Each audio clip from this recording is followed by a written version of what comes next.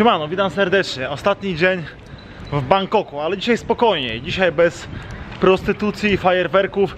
Mam nadzieję, że ostatnie trzy filmy Wam się spodobały z Pattaya i z Chaos on Road. I dzisiaj ok, dzisiaj spokojnie, dzisiaj jest ze mną koleżanka z Polski. Powiedz jak masz na imię? Żaneta. Żaneta, widzicie, bo zawsze pytacie jak ma na imię. Żaneta, Żanetą się znamy już ile się znamy? Z rok czasu? No sporo. ale się widzimy dopiero pierwszy raz w, w Bangkoku z ziomeczkami z jakiejś tam grupy facebookowej podróżniczej. No i idziemy sobie dzisiaj wymienić pieniądze, a później idziemy na jedzenie, więc dzisiejszy odcinek będzie typowo jedzeniowy. Postaram się Wam pokazać dobre jedzenie w Bangkoku. Zapraszam do oglądania. Na dzielnicy, w której się znajduje są Soi Samsen 4. Znajduje się restauracja, która nazywa się The Family. I z racji, że ja ogólnie nie korzystam z TripAdvisora, jakoś nie rusza mnie to, wydaje mi się, że jest tam dużo fejkowych opinii, to i tak stwierdziłem, że dobra, zerknę tego TripAdvisora, zobaczę, które knajpy w pobliżu mnie są dobre lub mają dobre jedzenie. No i mnóstwo ludzi polecało tego, tą restaurację The Family. Ona jest ode mnie jakieś, nie wiem, 3-4 minuty tutaj właśnie obok rzeki, którą przechodzimy i restauracja otwiera się od godziny 13.30, jest 12.30, czyli godzina do otwarcia restauracji i restauracja otwarta jest tylko do godziny chyba 16 16 można zamawiać posiłki, a otwarta jest do 16.30, więc krótko. I ogólnie przechodząc tamtą ulicą restauracja jest zawsze pełna, więc stwierdziłem, że dzisiaj pójdę i zaryzykuję i zjem tam jedzenie. Tak wygląda ulica, w sumie chodnik, którą udajemy się, którym udajemy się na, do knajpy, do restauracji. Smród jest taki nie za fajny, bo obok, Ryby. obok no, tu są ryby, a obok jest rzeka. Ogólnie przy, wszy- wszystko przy rzekach w Bangkoku śmierdzi, więc trzeba być świadomym. Ale idziemy zapytać, o której otwierają i czy można sobie zamówić jedzenie ciut wcześniej. A wy co, dalej płacicie za karnety na siłce? Na świeżym powietrzu. Zbliżamy się powoli do restauracji tutaj na rogu. Nie wiem, czy jest czynna. Drzwi są otwarte, ale jeszcze jest nieczynna, więc jeszcze nie można. Tak jak mówiłem, knajpa jest jeszcze nieczynna, dziewczyny tutaj jedzą sobie śniadanie, obiad chyba przed pracą. Muszę poczekać około godziny 30. Tutaj są ceny. Mają też wegańskie jedzenie i zobaczcie spring rollsy, zupy, sałatki. Poczekamy godzinę i przyjdziemy. A więc zanim pójdziemy do tej restauracji The Family stwierdziłem, że jestem zbyt głodny, więc zamówiłem sobie tutaj jedzenie w knajpie obok. Pokażę wam jak to wygląda.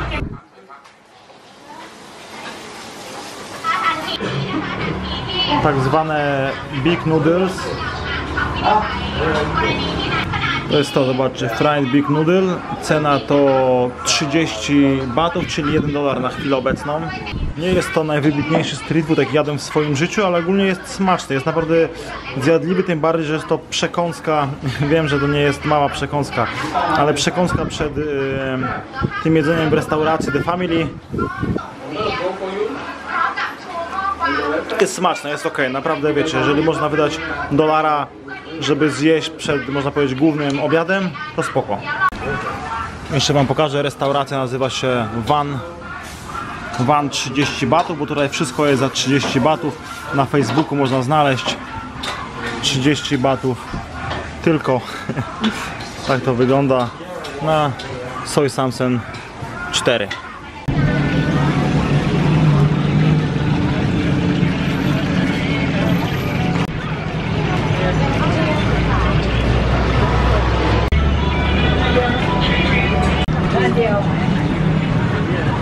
Ogólnie jedzenie w Bangkoku wygląda zajebiście i też zajebiście smakuje.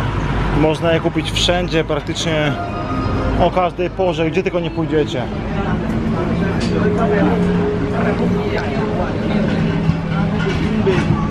Wszystko ładnie wygląda, co? Jesteśmy przy takim markecie, wszystko pachnie naprawdę zajebiście, ale za jakieś 30, 35 minut otwierają tą restaurację The, the Family, do której się wybieramy, więc jeszcze chwilka. A więc, już czekamy.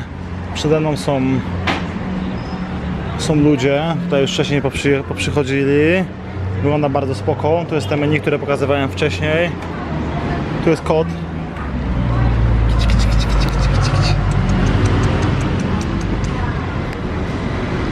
Tu jest kod. Tak to wygląda. The Family od 1.30 do 4.30 i później od 5.30 do 9.30. Ostatnie jedzenie można zamawiać o godzinie 4. Tutaj jest całe menu. Ja sobie najprawdopodobniej zamówię któryś z makaronów. A ty co sobie zamówisz? Zupę. Zupę. Ja oczywiście spróbuję i jednego i drugiego dania. Dokładnie za 4 minuty pierwsza 30. Knajpa jeszcze nie jest otwarta, my dalej czekamy. Że trzymają się mega skrupulatnie czasu, ale to fajnie. Fajnie, że tak jest wszystko poukładane. Dziewczyny tu jeszcze przyszykowują dokładnie stoły i zaraz zamawiamy. Zapytali nas, czy chcemy siedzieć na, na zewnątrz, czy w środku. Poprosili, żeby ściągnąć, ściągnąć buty, więc jest spoko. Zobaczcie, mamy stolik. Wchodzą do każdego w kolejności jak przyszli. Zobaczcie, jak tam kolejka ludzi poustawiała się. Jest godzina dokładnie za jeden. Wszystko jest podzielone w zależności od tego, jak chcemy, czyli wegetariańskie, później mięso yy, i owoce morza i jest tak tu cenowo. Wegetariańskie jest taniej, później mięso i owoce morza najdroższe. Ja wezmę któryś z makaronów i wezmę sobie do tego zupę. Jedzenie zamówione. Szczegółowe pytanie, czy, czy chcemy jajko, czy nie chcemy jajka, czy, czy tofu, czy nie tofu, czy mięso, czy kolendra, czy ostre. Jak średnio ostre, to średnio ostre tajskie, a nie europejskie. Wszystko do... No, żeby wszystko było takie, wiadomo, pewne, czy na pewno będzie nam smakowało. Ja zamówiłem sobie zupę kokosową i zamówiłem sobie makaron. Wydaje mi się, że to jest ten duży, który jadłem wcześniej, przed godziną. Mam nadzieję, że wszystko zmieszczę, a Żaneta zamówiła sobie zupę chińską. Do 20 minut mamy czekać, więc czekamy 20 minut i, i miejmy nadzieję, że, że będzie gotowe.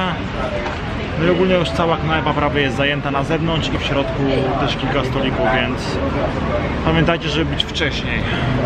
Pierwsza zupa, którą zamówiła sobie Żaneta, to jest Chinese Noodle Soup. Wygląda, wygląda bardzo fajnie, z tofu, z warzywami. Spróbujemy jak smakuje.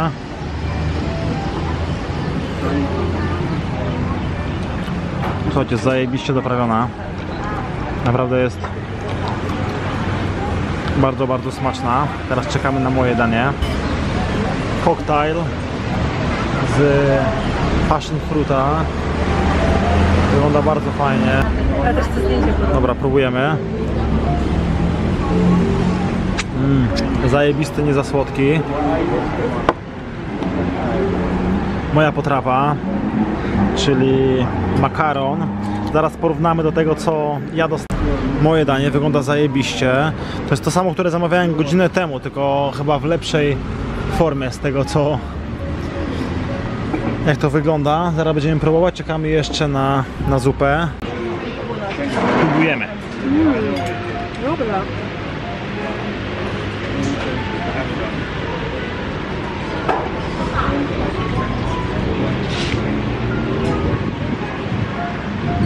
To mega. Nie spodziewałam się. Smaku jest ok. Moim zdaniem mogłoby być ciut bardziej słone doprawione, ale może dlatego, że ja lubię takie mocno doprawione słone e, danie. Zupa jest bardziej doprawiona, ta pierwsza. Właśnie przyszła zupa kokosowa, wygląda następująco. Próbujemy zupy sosowej. Pu, zjadłem wszystko. Pierwsze danie, drugie danie, czyli zupę i, i makaron. No powiedzmy, że coś tam pojadłem sobie, pomimo, że pół godziny wcześniej jadłem jeszcze jeden makaron. Ale zajdziemy jeszcze do 7-Eleven, kupię sobie jakiegoś batonika i, i Coca-Colką zapiję, które się może zapcham do końca. I jak odejdziemy stąd w jakieś spokojniejsze miejsce, to powiem Wam moją recenzję. A jeszcze sobie od Żanety skubnę trochę. Siedem żołądków. To też bardzo smaczna. A więc, pojadłem, jedzenie było smaczne. Makaron ciutkę wystarczyło doprawić sosem sojowym, który leżał sobie z boku. Obok tego był jeszcze cukier, jakbyśmy chcieli, bo Tajowie używałem dużo cukru do jedzenia. Do tego chili, podany bardzo ładnie i cenowo moim zdaniem tanio. Jeżeli chodzi o jakiekolwiek tutaj jedzenie w Bangkoku, to taki naj, najgorszy chamski street food na Kosan Road. Czasami kosztuje 60, który jest bardzo kiepski, a tutaj zapłaciłem 70 za porcję jednego i 70 za porcję drugiego, czyli to jest 140 e, batów. Razem e, razem zapłaciliśmy 300, niecałe 300, ale zostawiliśmy napiwek, czyli łącznie za dwie osoby zupa, której e, ona nie dojadła. Ja jej musiałem trochę pomóc. Moja zupa, makaron, sok 10 dolarów. Moim zdaniem cena bardzo spoko i tak jak mówię, trzeba być wcześniej. Bardzo delikatne jedzenie, bardzo smaczne, ale to nie koniec dzisiejszego odcinka, bo jeszcze was dzisiaj zabiorę. No nie teraz, chwilę muszę odpocząć, ale naładujemy dzisiaj jeszcze trochę. Siemano, idziemy drugi raz na jedzenie. Chcesz coś powiedzieć do kamery? No właśnie. Ogólnie się dziwicie, że czemu ja nie dopuszczam do głosu ludzi, którzy ze mną przebywają, bo nie chcą. A więc idziemy na jeszcze jakieś jedzenie dzisiaj, aby wam pokazać ciekawe żarcie w Bangkoku. Idziemy ulicą, na której znajduje się mój hostel. Jest już ciut później, więc porozkładało się więcej street foodu. Jest godzina 19.40. Wygląda już to bardzo ładnie i pachnie również bardzo ładnie. W koło wam tylko tutaj pokażę jeszcze. Są owoce po 20 batów, czyli jakieś około 3 zł. Tutaj dalej zobaczcie jaka fajna mgiełka leci z, z tego, żeby nas ochłodzić. Bardzo spoko. Tutaj mają dalej jedzonko, szejki, koktajle owocowe. A tam na końcu najprawdopodobniej jest zupa, którą chciałbym spróbować. Tutaj już jesteśmy na jedzonku. Number. eee, Number seven, number eight, number four, with soup. eee, can I have this soup with No, an- any soup, any no soup. this soup? But can you make this? Can you make? Ah, same same. Ah, any with soup, Ah, okay. no Ah, okay, okay. So this one for Yes, for 50. yeah, Number four, please. yes, only one. One. And you? And And you happy? and six, okay. Mam nadzieję, że widać dostatecznie dobrze. Tak wygląda moja zupa. W środku jest żółty makaron. Do tego jest wieprzowina. Do tego są pierożki wonton. Wygląda bardzo spoko. To jest jedna z moich ulubionych zup, które jadam w Tajlandii jak jestem. Teraz spróbujemy.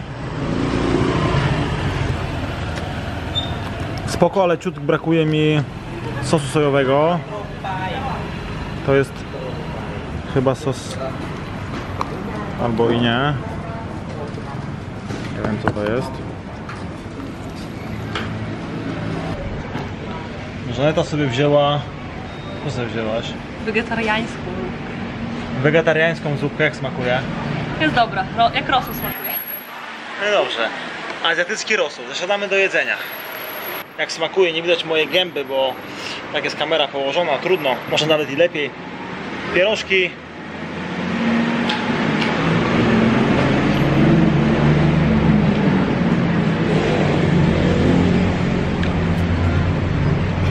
Smaczne. Mięso.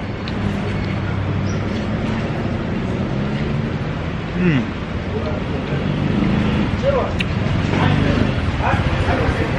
Mięso bardzo ok. Dobra, zupa zjedzona. Aż się cały spociłem, jak można zauważyć, bo, bo jest zajebiście gorąco. Na dworze jest jakieś 30, o, sorry, jest jakieś 30 stopni, stanąłem dla gościa na nogę. Ale jeszcze na koniec deser. Dzisiaj jest mój ostatni dzień w Bangkoku i w sumie ostatni dzień w Tajlandii. Jutro rano z samego, samego rana wyjeżdżam, więc chciałbym coś pojeść, wydać wszystkie pieniądze. Nie wiem, czy szybko tutaj wrócę. Myślę, że może za rok, może niekoniecznie. Ogólnie jesteśmy już przy Kosan Road. To jest ostatnia miejscowa, na które chciałbym cokolwiek zjeść. Ale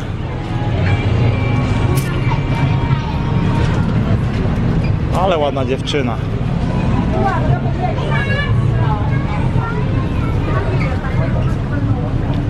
Hej, Hey! tudo bem? Tudo bem? Powiem wam, że ciężko tej godzinie znaleźć mango sticky rice gdziekolwiek na, na ulicy. Wiem, że można znaleźć przy Kosan Road, tu gdzie się znajdujemy obecnie, ale wiem, że nie jest to najlepsza jakościowa, no ale nic. Tak czy siak trzeba zjeść. No znaleźliśmy mango sticky rice za, za, za 5 dyszek. Tak to wygląda. Is it, is it, is it, is it sweet mango?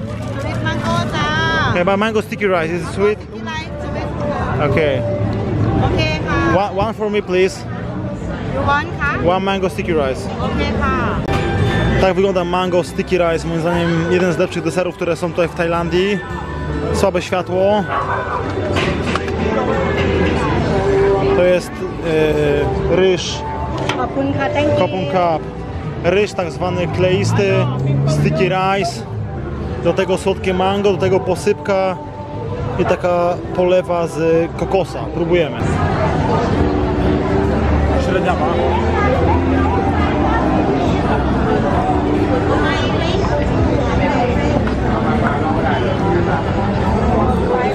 Nie jest to samo, które jadłem w Chiang Mai.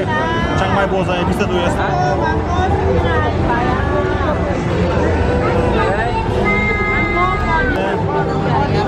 ryż jest?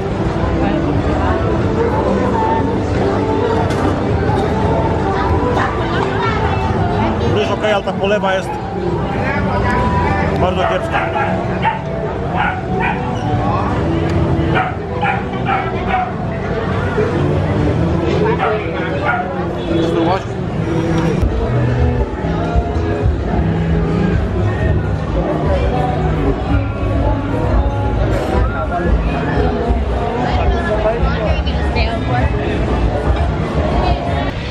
tym słodkim akcentem w postaci mango sticky rice chciałem zakończyć ten odcinek, ale niestety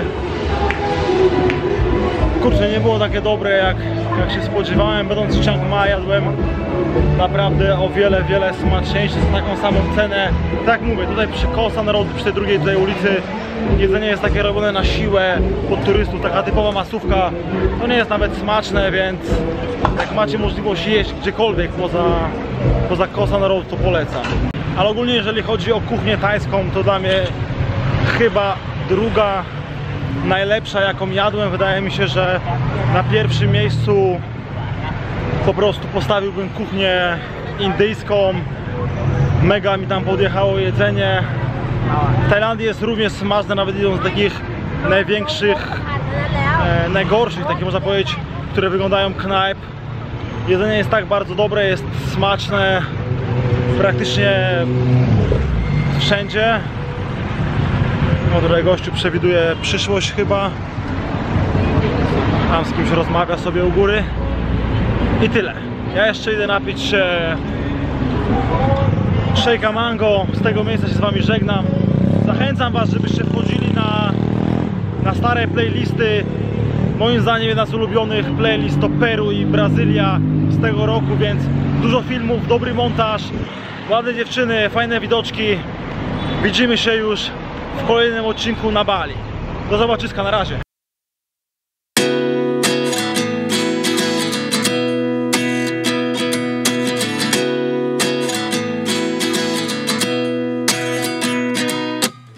At 29 and I find myself wondering uh, what did happen to the last 10.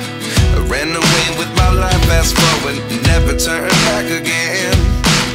It's kind of funny that the more we pass time, the more we need to set the rewind. And 19 was the year I had to leave you, but now I'm seeing all the signs.